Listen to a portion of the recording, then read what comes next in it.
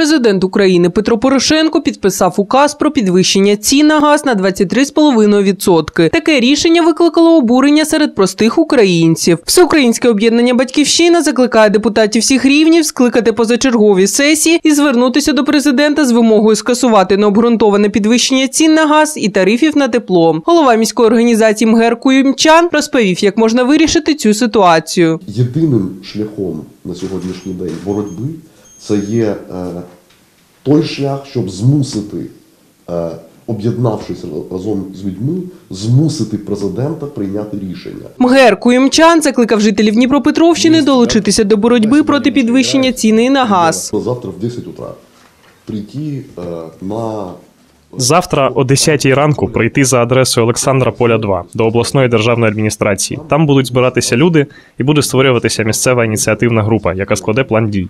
Подібні заходи пройдуть по всій області.